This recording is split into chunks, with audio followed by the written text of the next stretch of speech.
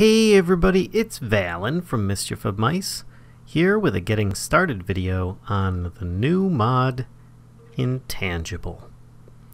This is made by Emoniph, the same mod creator who's also made Witchery. So, to get started, we're going to end up needing some bones. So, find yourself some skeletons and get some bones. So I have a few here that are just waiting for me. Once you've got some bones, you're going to want to find a volunteer, like this chicken here. And let me get out of uh, creative mode here, and you'll want to get the killing blow on an entity. You'll end up getting that discovery there, a soul bone. As you can see here, it's a bit more yellowish in color. Anytime that you end up uh, killing an entity with a bone, uh, regular, you know, bone, then it should turn into a soul bone. Uh, once you get a few of those, which uh, I'll end up getting a few here in a moment, you'll end up then wanting to make sure that you mine some lapis lazuli ore, as I will do here. And you're going to need access to some water, preferably on top of stone, as you see here. So I am going to be right back. So now that I've spawned myself in some soul bones and I have uh, the lapis lazuli I was talking about, I have stone beneath some water. Now you can just uh, bucket some in place and you should be fine. Uh, otherwise you can, you know, just find yourself some water somewhere, but it's best if it's uh, surrounded by something to start with, uh, just so that it uh, does not end up pouring the contents around. You then toss a piece of lapis and one of the uh, newly obtained soul bones in the water. You'll start seeing bubbles forming, as you see there. You should do this with uh, as many as you can to start with, just to uh, get yourself going in this mod, as this will take a bit of time in order to uh, get things uh, started at the very beginning.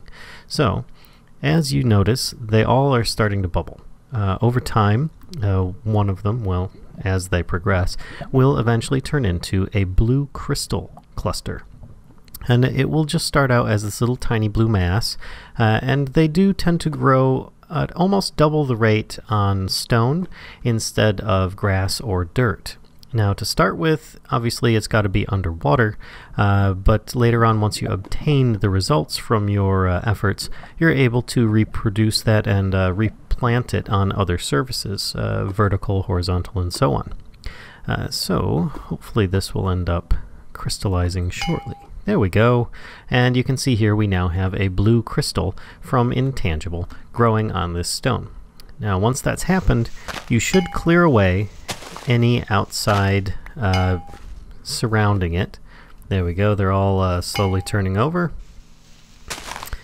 And I have a torch here just for lighting and because I'm also in a winter biome so that the water does not uh, freeze as soon as I end up doing this. But um, you should clear away at least the uh, the dirt on the cardinal directions, north, south, east, west, uh, on the uh, blocks so that uh, they can grow faster that is the uh, best way to go because it does take a while. It takes uh, on average about one to three Minecraft days for uh, one of these to end up growing to its full size. And over time, it will end up growing into these, which I have over here. And you notice that they're all kind of slightly different shades. Some are lighter blue, some are darker blue. Those that are colorblind you may or may not notice. I'm not really sure. But uh, And you'll get the occasional rare one that has a bit of yellow coming off of it. Now it does say blue crystal in my little uh, tooltip, but when you break this, you should be getting a, uh, a yellow crystal. So, once you end up getting these things, when you right click on it, you should hear uh, the little ting there, and that means that it is ready and done growing, and uh, you can harvest it.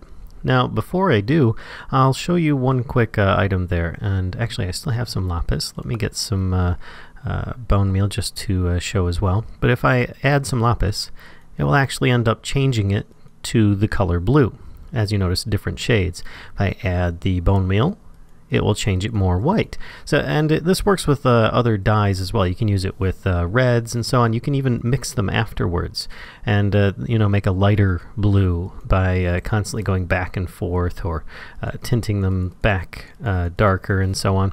It's a lot of fun. You can make it aesthetic, but it won't change the results of what you get from the crystal. So. There we go. We've discovered a crystal. And this does take some time. If you notice, the other ones haven't actually even uh, moved. So like I said, it takes about one to three uh, Minecraft days. Oops, let's uh, put a torch down there so that hopefully will end up uh, melting. Um, but uh, if you end up breaking this one here, I should get a yellow crystal which can be very good. Now once you get these crystals, I recommend, uh, obviously your first one that you get, you're only going to get one from uh, those that you end up growing like this. Once you're done though, I recommend that you replant it like this on another piece of stone.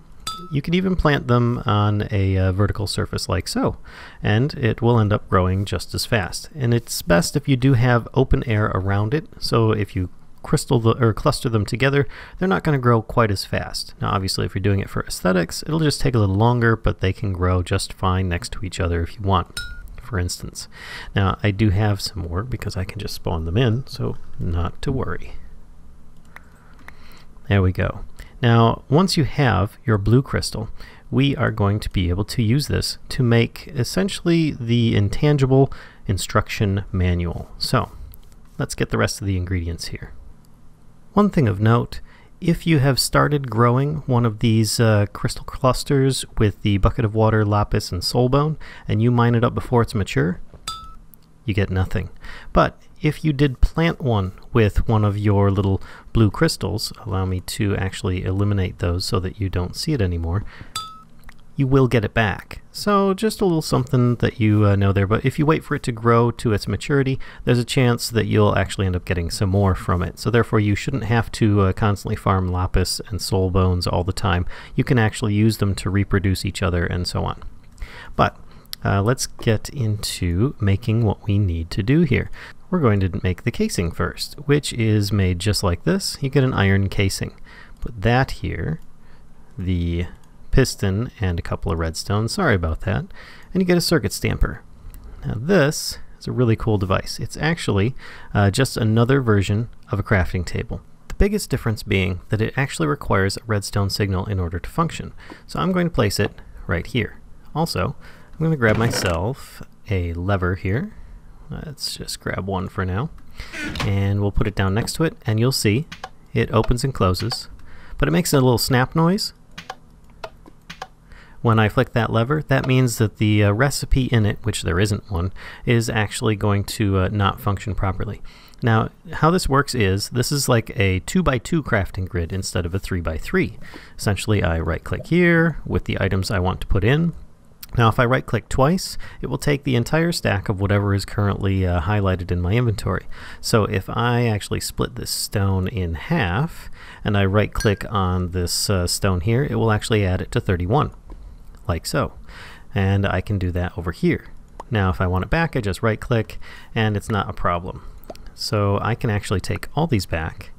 I can make space on my toolbar here, spread them out evenly, and I can actually end up putting them all in like so.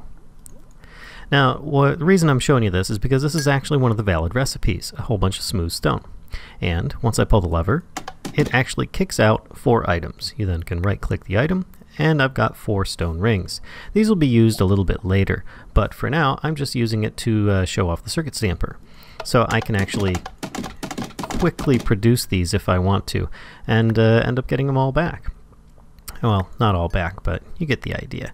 I can then clear out all these items here. Oops. Gotta make sure I don't keep right clicking with the same item. And uh, what we're going to do next is actually a blue crystal, soul bones, and a piece of redstone should do the trick. Once I flip this, we get ourselves the knowledge gem. Now this is actually this is a gem of a book here. It's actually a, a instruction manual that you don't have to uh, always have to have um, breaking away from your inventory on. You, know, you see, I can actually walk away from it, uh, go into this, craft something, come back, and it's still open, so you don't have to worry about that. If I click on something and then I close it, I can actually open it. It'll be right back on the page I was on. Plus, I can actually have two of these in the world, but if I click on one, it'll happen on both. Um, and if there is another player and they're looking at this, it will actually display the image that they last looked at on here. And if they've never looked at it, then they'll probably end up seeing the uh, original screen here on Matters Incorporeal. So, this is actually all you really need in this in this uh, mod in order to progress. Uh, you don't actually have to watch this video any further. But I'm glad that you are. So, we're going to try and walk you through the basics of Intangible here. Now that you actually have blue crystals, there's a little bit more that you can do with them. A little unexpected behavior here. Let's, uh, let's make some armor. That's right, you can actually make armor out of the blue crystals. Now, there's a big bonus and there's a big negative to this. Uh, the uh, plus side is it's diamond level protection. And uh, besides the fact that it takes a while, and it uh, it actually is really awesome looking. it looks like I'm covered in uh, ice cubes, um, but uh, it does have a bigger downside than just waiting for these things to grow, and that is that the uh, durability on these is really really terrible. See, great protection, terrible durability. You could probably end up breaking these in about five to ten hits. So uh, Wear them with caution if you decide to make them, but it can always be something fun you can wear. Um, you could always put some protection on it. Maybe you can find a repair enchant that might work for you uh, with another mod, but uh, at the very least, you can have some diamond level protection with uh, just a little bit of lapis and some soul bones. With your soul gem, you should be able to actually just right click on it and you can go back to the page you were on. Materials, crystal, you can page through things, read through it. It's very, very comprehensive and very helpful. Uh, I do recommend every time you get a new discovery, you go back to your soul gem and you end up uh, going through all the notes again. You'll probably end up finding it's a little bit more organized and you've got a little bit more to uh, read and learn about. So we've made the circuit stamper, we've made the knowledge gem. Next, we're going to make a bellows and a blow mold. The bellows is made with just some oakwood planks, an iron casing, and a couple pieces of leather. So as you see, just grab one of these, and you've got this really nifty little bellows that you can place in the world. Now, you can actually, it also makes a really uh, satisfying noise to it. If you just right click it once, it makes a little sound and goes down a little bit. If you just hold the uh, right click button, you will constantly keep pumping it down and it will end up getting a full blast out of it. So you can actually have uh, items in front of it, and it will blow them as you progressively uh, press the uh, bellows down as well, which is just kind of a, a well, I'll say nifty type uh, deal. But its uh, true purpose is to help a furnace and a, uh, oh, what was it called again? The blow mold. So with the bellows hooked up to a furnace, if I were to put coal in with some wood, you'd see it just slowly ends up doing this. Nothing really spectacular, but you can end up automating this. With some simple repeaters and some redstone, you can actually have this thing automatically boost your production.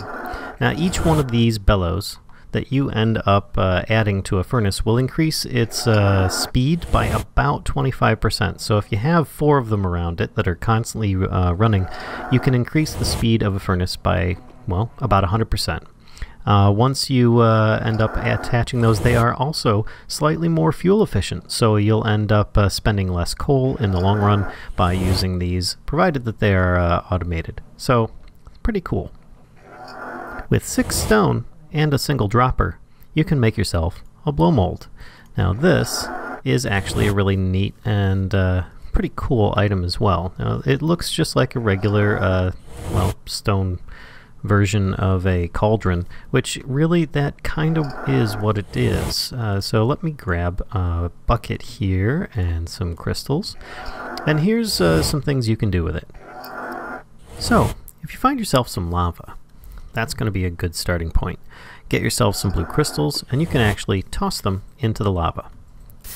and they will, even if you don't see it rendering like this, like it bounces off or disappears, give it a moment and it'll turn into a blue molten blue crystal. Now you could even toss this in amongst uh, a field of lava. Like, there you go. But wait a second, and there you go. It actually shouldn't make any difference whatsoever. And the best part about it is that uh, even if there's nothing in its way, it actually is not a flowing block. It will stay where it's at. So, uh, another item. You can actually toss glass into lava, and it should turn into molten glass, which we can use a little bit later. And of course, that yellow crystal that we have, we could use that for many things as well. One of which is to toss it in and make some molten yellow crystal. Just like that. So, first we're going to grab the blue crystal though. Toss it into the blow mold, and we have ourselves molten blue crystal in the blow mold. Well, what do we do with it from there? Well, we actually take a break from it for a second, and we decide to make ourselves some molds to use with it. Now each of these essentially needs uh, stone and sand. Uh, it can be red sand, it can be regular sand, um, not a problem. So if I end up transferring the items, here we go, I've got a funnel mold. Uh, should only need one of each of these, uh, whoops, which I'm spawning them into myself here. So I will end up doing these. Uh, also, there's gem molds, glass bottle molds, and glass pane molds. Now, each of these, I will actually show you the recipe of each. The decanter is as such. The splitter is a T shape of stone. The gourd is uh, just a couple of vertical lines on either side of sand. Spiral mold is an H shape, and the gem mold is an X shape. Uh, plus the glass bottle, of course, is a kind of a, a, diamond shape, and the glass pane is just a single inverted version of the funnel, as you see here. Now you'll only need one of these uh, so that you can actually uh, you can reuse them. And uh, to give an example, I actually will need one funnel mold. Uh, you shouldn't need more than one funnel. Now if you look, you can actually see the little blue inside there, so that's working just as intended. But we're going to need a bellows. Now there's no need to automate this one as much unless you really, really want to. Uh, I find that just uh, right-clicking works just fine for this purpose. But you just do this, and when you hear the ding, then you've got yourself a funnel. And you can see here, it's actually a funnel is in my inventory. Now the good thing about these is that uh, you place them down in the world, and even if you punch it with your hand, it doesn't break. You can pick it back up and reuse it again. You will only ever need one funnel uh, unless you end up uh, breaking it or destroying it in some accidental way. Uh, but otherwise, you can, uh, I recommend that the other uh, molds, the gourd, the spiral, the decanter, and the splitter, you make yourselves four each of those uh, different uh, glassware items. Now, you see here that there is uh, nothing inside at the moment. Now, I'm going to remove that mold. We're going to put a different one on here, the decanter. And then I'm going to grab my bucket and get another bucket of blue molten blue crystal. Now, while that's on there, you can actually still refill it. So let me get to a point where you can see. There we go. And if I right click, it fills it up and it's inside. So whether the uh, mold is on top or not, which you can just right click and uh, take the bucket back out, or you can, uh, with an empty hand, right click and take the mold off. Not a problem. Then you just use your uh, bellows again and you can make yourself a decanter. Just like that. So I'm going to make myself a bunch of these, but uh, before I do, I'm going to show you the uh, glass bottle mold and show you how that can be useful. Let me grab an empty bucket and some of this here, the molten glass. Pour that in, put your mold on top, and with one piece of glass and one lava source block, you can make yourself quite a bit of glass bottles. And I get six glass bottles. With the uh, glass pane mold, you end up getting five uh, glass panes, which is really cool. You know, if lava's not too bad of a uh, resource or you've got a pool of it nearby or something, feel free to use that, though I think you'll probably end up using quite a bit of it, making yourself uh, the uh, other items that we'll be needing. So, I'll be right back. So now that I have all these uh, glassware items, what are we going to do with them? Well, we're going to hook them up to a cage that's going to be made from soul bones. So you get yourself a bunch more soul bones. And don't worry, uh, you can just keep the uh, amount of soul bones you need minimal for now. I will show you a way to uh, mass produce these uh, not too far along the line. So I recommend you, you don't have to run around chasing for uh, soul bones all the time, you know, trying to get stacks by killing all sorts of uh, enemies. Just get yourself maybe a half a stack to start with and you should be good to go. So I'm going to actually hook this up right here and you can see we have a bone cage. This here, just right click it, it opens and closes. Uh, it's also a good idea to uh, get yourself a couple of stone with a pressure plate in the front, put that down so that as anything comes up to it, it will snap shut. Now if there is something in front of this that is not a player, uh, it, and you right click on here, by closing it, it will actually suck in whatever uh, entity is in front of it, provided that it possibly can go inside. So let me get a bit of uh, something here for this little sheepy, and we'll see if we can get him to uh, help us out. Alright, here we go little guy. Just need you. There we go. He got close enough. Now the thing is if I accidentally step on there I'll let him back out again, but then you can always snap it shut. so what we're going to do next is we add the funnel. That is always the first item on here. And then four of any of the other ones. I'm just going to do four uh, of these uh, spirals for now. And remember, whatever I end up doing here for these is not going to be the same for you unless you're using the exact same world seed that I am, which is, uh, I have to say, relatively unlikely. Every time that you uh, are starting up any kind of new uh, Minecraft world, these are going to change out for what we're trying to discover right now. So do not take this as the correct method for discovering what we're about to do. Now, I will need a lever. Let me grab one here. I'll leave that one. I'll just get one out of here.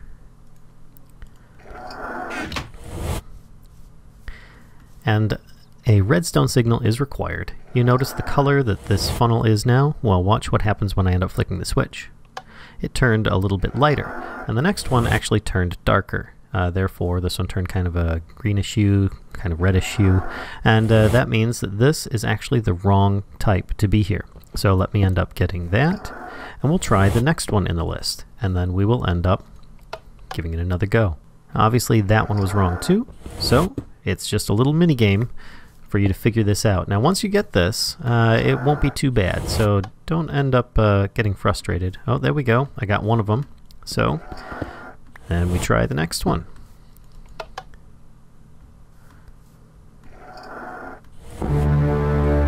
And there we go. Discovery Souls, Discovery Benign Soul.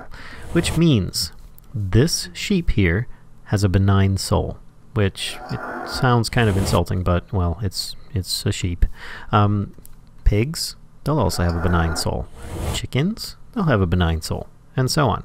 Now there are different kinds of souls, and if you uh, consult your knowledge gem here, it will actually let you know what souls you have actually uh, discovered. So let's see here, souls, types of souls. It says benign which it explains in there what that's about.